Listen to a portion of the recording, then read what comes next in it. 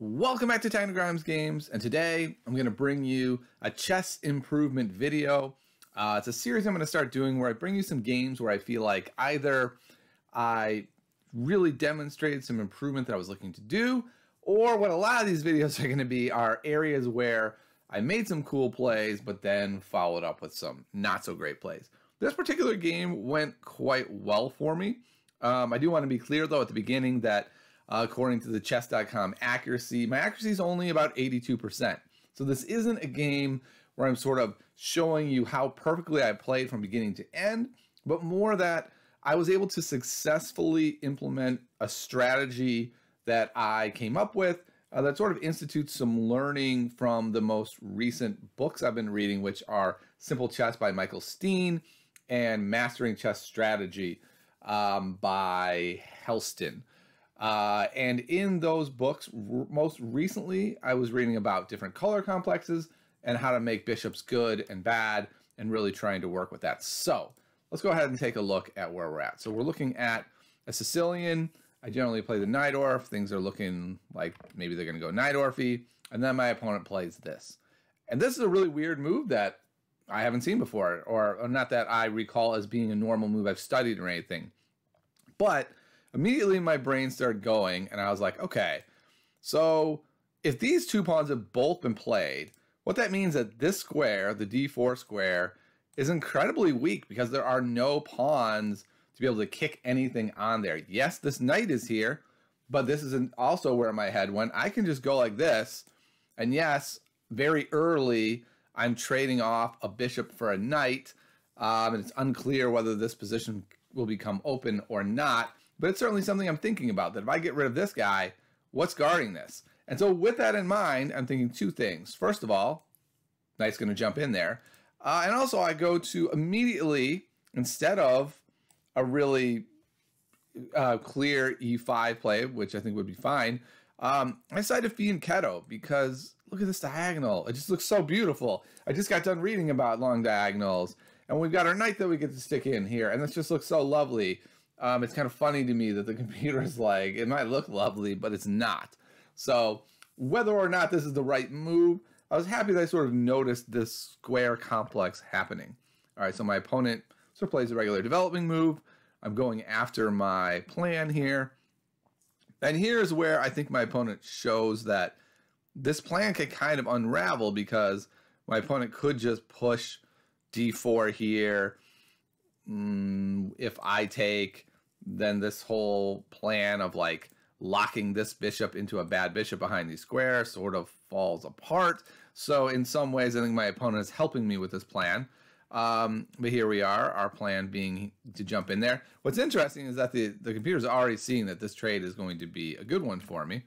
Um, and then the, once the opponent goes here especially, that's when I'm like, okay, not only is this this this square weak, They've already moved the D pawn. They don't want to have to immediately move it again.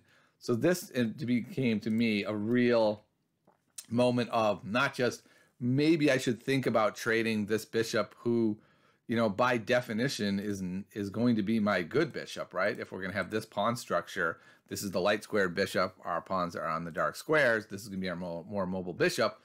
But it just seemed like such a good trade for me.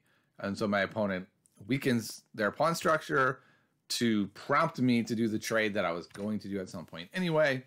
And now look at this bishop. This bishop is the very definition of a bad bishop. All the pawns are on white squares.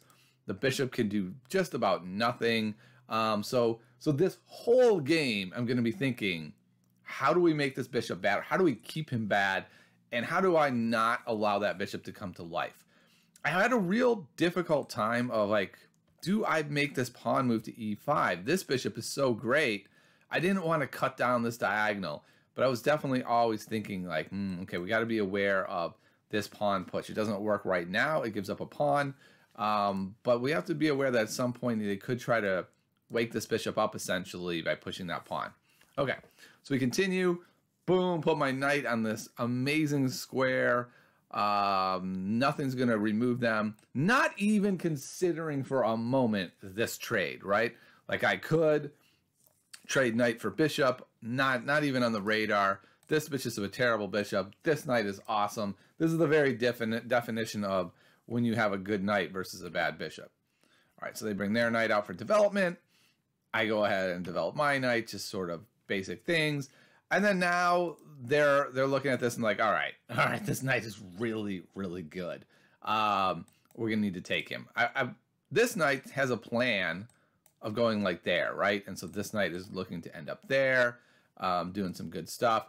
But uh, in addition to everything else, I really want this pawn or this square d4 not to be occupied by a pawn. So I'm going to go ahead and make sure that's the case by allowing my bishop to, to take there when they eventually do take. All right, so now at this point, castled, we got pieces where we want them. We make the trade in the center. Now we have this bishop who is very influential, looking awesome, um, having some reach, and we have this knight who's probably going to just hop in here. Um, not not going to trade for this bishop, right? We've already said we're not trading for that bishop, but but in a good spot. Um, and now, so now they're they're on the bishop, and we have the question: Do we do we make this trade? And and the answer is no. This this is an amazing diagonal. What? Why would I give up um, this bishop for this knight who's way back there, not doing much, and then also sticking a pawn on our glorious d4 square? Not not even a possibility. All right, we're putting our knight in a really good spot, um, and now I feel like this is where I was a little lost in this position. Right? It's like okay, my position is awesome. I've got a beautiful knight. I've got a wonderful diagonal. Their bishop is garbage. Their knight, look at the squares it can go to. Like, it's not doing much either. If we could just freeze the game and say whoever has the better position here wins, I, I win. Um, and this is where it gets a little complicated. And so I decided, like, well, um, let's try to take advantage of the fact that we have all this by maybe opening up the A file, right? So if I go here and I go there, um, if they take and I take, that's pretty good uh, suddenly the A file is open to us. They'll probably go like that, or, or if they do, we can go here. Bottom line is we should be able to make some things happen over here. All right. Um, interestingly, we have some cool moves with uh, queen to a5, and we'll see this again with even bigger impact later that I just don't see. Again, this isn't a this isn't a game about how I played perfectly from beginning to end. It's more a game about how I was able to keep this bishop as a bad bishop, keep mine as a as a really effective bishop, and, and, use these knights. So they're chasing the knight back, but look, we can get to the square pretty easily, right? And suddenly this knight is going to go from good to even better. So this is all fine. This pawn push, this kind of feels like a little bit of desperation for my opponent. Like they're not really sure what they should be doing. Um, this is a really strong move because let's let's look at this knight. Where's this knight gonna go? Right? Like no, no, uh, no, no. There. Either knight has to go there, or they have to protect the knight. So I I decided put my knight in a good spot. Um, again, now we uh, have a really good game going here. All the things we had going on before are still going for us. I decided to bring the bishop to an even more influencing spot, hitting that knight thinking that the knight probably gets driven back to a pretty terrible square. They do move the knight back to a terrible square, and at this point, I'm just looking at this game and going, "Wow! Like this is this may be the greatest game I've ever played, right? Like everything's just come together. The knight is back there. That is a terrible bishop. Like everything is so glorious." Um, and here is a really interesting spot um, because we have a lot happening here tactically that I just totally missed where like this is hitting this with check. So there's a line here that that I did not see at all until um, computer computer analysis came in. That I can go here, and if they take here, uh, this is this is actually uh, going to be checkmate. as shocking as that is, it's not just taking uh, with check, right? We've got the bishop covering that, the rook's covering that. Check, it's checkmate. Didn't see that at all wish I would have. I could I could have talked about what a glorious game this was. Instead, this is not a perfectly played game by any stretch. I go here. Reason being, connect these rooks so that I can continue to control um, the open file here or have a lot of influence on it, if not controlling it. take some trades. And then here, um, computer doesn't love this, but my thought was, it looks to me like I've got a pretty good attack over here, right? This guy's buried in the corner. This guy's attacking. This guy's attacking. We can take a couple moves, get the queen involved. And so let's just lock down the other side of the board now that we don't have rooks. When I had rooks, I was like, okay, let's open it up and I can use my rooks over there uh, because I have more space. I have more, you know, piece connectiveness. But now that the pieces are off the board, I decided to close it down, bringing the bishop into play. And this was a big moment. Um, they go here, looking I don't know where they're looking to go, to be honest. Where are they going to go? There's not a lot of spots, but at least at least this bishop has gone from utter garbage to it's doing something, and we're not going to have that. We're just not going to have that. This whole game has been about controlling this bishop. Where's this bishop going to go? Every spot is covered. Go back from whence you came. Get out of here. You don't get to be involved in this game. All right, just continuing to pressure on. Um, not the best move for the king. And in fact, this is not the best move either. I should have brought my uh, queen up to there, but whatever. Uh, we're coming in. All the pieces are getting active.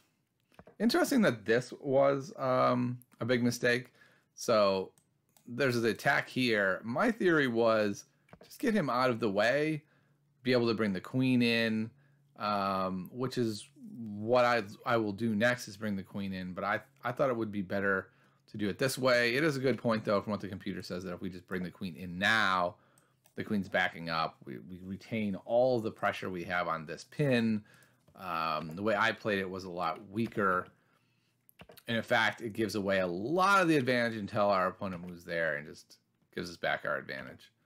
Um, then they go there, which is fine. Um, apparently, this is a blunder, and I should have just come in here now. Which I don't know. It doesn't make a ton of sense to me because of the trade, but I guess this this is probably just going to be um, too much to escape from here, and then maybe here. Yeah, and so we we we're we're bringing all this pressure on if, if we do this this way. I didn't calculate all this out. It was a blitz game we go through, and then that um, is a problem. So by, by moving the queen there, now we get this pin, um, and then that pin is going to win a piece. They make a mistake there. I think their thought, I think they just sort of forgot that this was going to be with check. They were thinking they were counterattacking. Uh, so the point is not that I won this game. The point is not that I played a, played a perfect game. The point is, we're going to go back to the beginning. That right from the beginning, right from move three, I identified that there was some stuff going on here, that there was this interesting color complex, and I was able to, the entire game, take advantage of this diagonal and shut down this bishop. And, and also through that process, ended up shutting down this guy. And so I was able to keep this pressure on all game. Now, did my opponent have some misplays in there that that sort of allowed that to happen more? Definitely. Did I miss some stuff? Definitely. It was just one of those moments in my own development as a chess player where I could kind of look to and say, I am getting better. I am taking in some of these concepts that I've been reading about and applying them in my games, not in a like, a, oh, that just came about. That's awesome.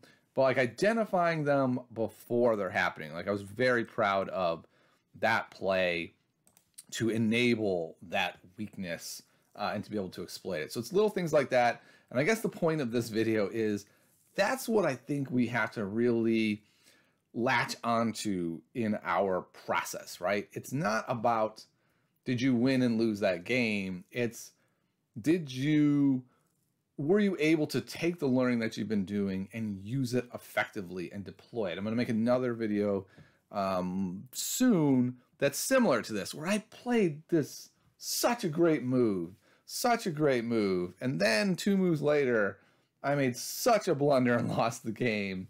Um, but I was still was able to to take away from that game like ah the learning like it was a move that I wouldn't have made a month ago that uh, I really learned from just reading and watching games and really internalized um, some stuff. So that's all for today. I hope you learned something from this game, and I'll see you next time on Tiny Grams Games.